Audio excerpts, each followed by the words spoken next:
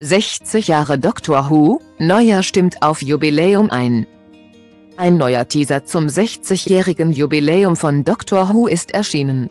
In dem genau einminütigen Video zum Special der BBC-Serie sind unter anderem David Tennant, 51, in der Rolle des Doktor.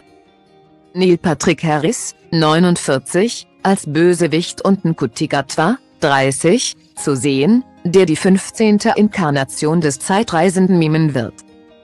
Ein weiteres Comeback in der Serie feiert Catherine Date, 53, die als Donna Noble wohl den Mittelpunkt des Geschehens bildet. In dem Thriller sagt Tennant, ich glaube nicht an Schicksal, aber wenn es existiert. Dann kommt es auf Donna Noble zu. Und weiter, wenn sie sich an mich erinnert. Dann wird sie sterben. Noble scheint sich aber nicht wirklich an ihn zu erinnern. Sondern ahnt nur, dass sie etwas Wunderbares hatte, das nun weg ist. Zudem treten eine Menge insektenartige Aliens in dem kurzen Teaser auf, die sich mit Laserkanonen Feuergefechte in den Straßen von London liefern.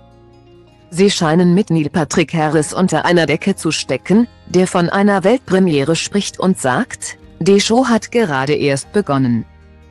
Der How I Met Your Motorstar tritt dabei als exzentrischer Selbstdarsteller mit langen goldenen Haaren oder mit schwarzem Hut und Anzug auf.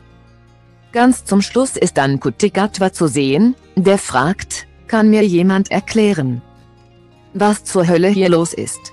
Der 30-Jährige trägt einen dünnen Oberlippenbart und eine lose dunkle Krawatte zu einem weißen Hemd. Seit dem 8. Mai ist offiziell, dass Nkutigatwa als erster schwarzer Darsteller die Rolle des Time Lords in der BBC-Serie Doctor Who übernimmt. Zuletzt gab es erste Bilder des Sex-Education-Stars in seiner neuen Montur auf Twitter.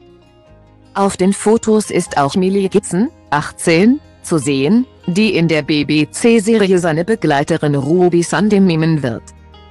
Gatwa folgt auf Jodie Whittaker, 40, die die erste weibliche Doktorin spielte.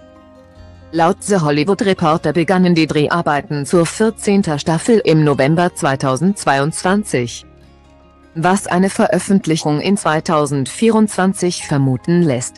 Einen ersten Vorgeschmack auf Gatwa als Zeitreisender bekommen die Fans aber wohl schon in der Jubiläums-Sondersendung. Für Tennant ist das Special nur ein kurzes Comeback, er hatte bereits die neunte Inkarnation der Serienfigur verkörpert.